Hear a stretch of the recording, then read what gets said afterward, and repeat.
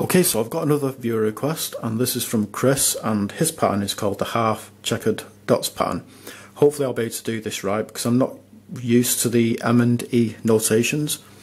But anyway, the algorithm is R2, U2, R2, U2, R2, U2, B2, U2, B2, U2, B2, U2, R2, B2, R2, B2, R2, B2, and M prime, so that should be the middle layer going this way.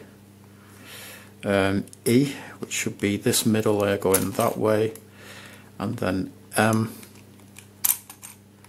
and E prime, which I think it goes that way. So there is the half checkered dots pattern.